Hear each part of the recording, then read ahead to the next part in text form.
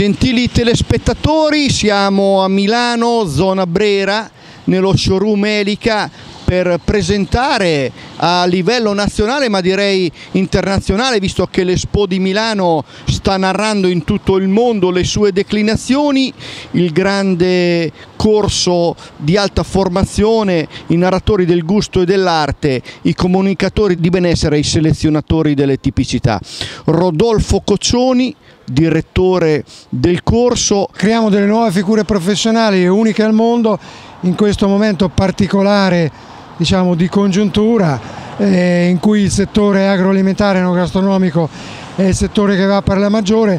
non potremo fare di più la grande professionalità che Expo può consegnare al termine dei sei mesi è proprio il narratore del gusto e dell'arte, perché il, le più grandi bellezze artistiche, architettoniche ed enogastronomiche vegetano e vivono in Italia. Non poteva partire dall'Italia e non poteva partire dall'Università di Urbino, assolutamente. Certo, Urbino ovviamente come città simbolo del Rinascimento direi che questo è, deve essere un nuovo rinascimento anche per la cultura del cibo, la cultura del, del bere. E si parla di cibo, si parla di, di bere di alta qualità, è vero, ma questi prodotti devono essere raccontati altrimenti non valgono nulla. Claudio Modesti qui con noi a Milano, showroom Elica, inauguriamo questo corso di alta formazione i narratori del gusto e dell'arte che racconterà anche di sostenibilità dei prodotti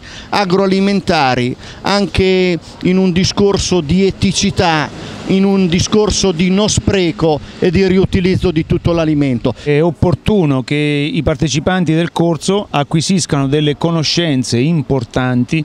sulla sostenibilità ambientale dei prodotti agroalimentari, ma anche degli allevamenti che acquisiscano dei concetti importanti su? Sull'eticità del cibo, sul valore del cibo ormai ridotto esclusivamente a merce, ma in realtà eh, dovremmo far acquisire a loro il valore e l'importanza che ha il cibo nella cultura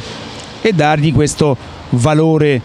che ha sicuramente anche nella trasmissione di che cosa? Della storia, perché il cibo è storia, il cibo è frutto dell'interazione importante che c'è stata tra l'uomo e l'ambiente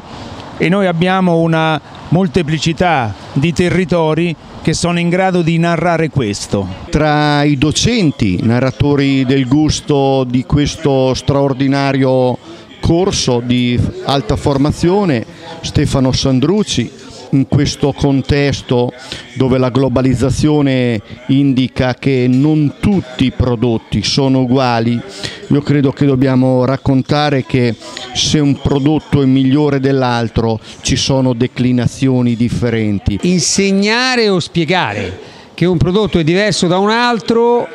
più o meno buono, diciamo più o meno interessante, è, è, è sicuramente dare felicità, nel senso che quando noi si va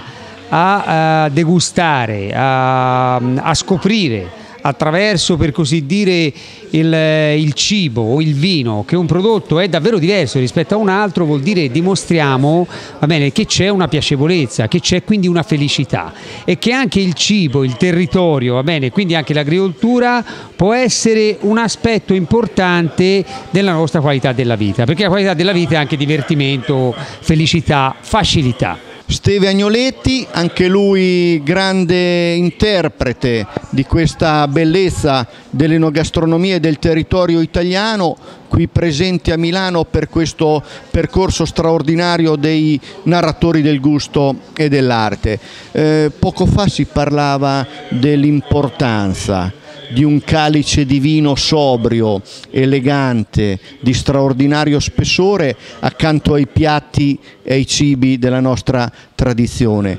Ecco, anche qui l'Italia sa narrare qualcosa di unico. Quando si parla di grande vino e quando si parla di grande piatto, manca un elemento da congiungere, che è quello della bellezza, come dicevi tu, perché tutto si fonda sull'armonia. Allora, l'uomo sta bene quando è in armonia e l'armonia fra un piatto ed un vino non presuppone la eccellenza, ma presuppone appunto la condivisione in un dato specifico momento, che è quello dell'emozionalità. Se un vino ed un piatto non servono ad emozionare le persone, hanno qualcosa che manca.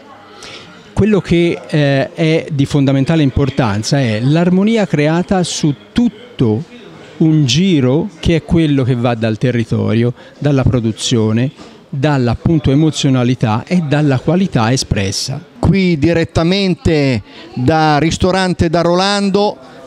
Rolando Ramoscelli è venuto a preparare delle delizie straordinarie che hanno appagato la mente e il cuore, prima Rolando, infine anche il palato. Che cosa hai realizzato qui straordinariamente a Milano, a Espo? Abbiamo eh, iniziato con una casciotta d'urbino tagliata a tartine, con sopra una salsa di mandorle e olio extravergine,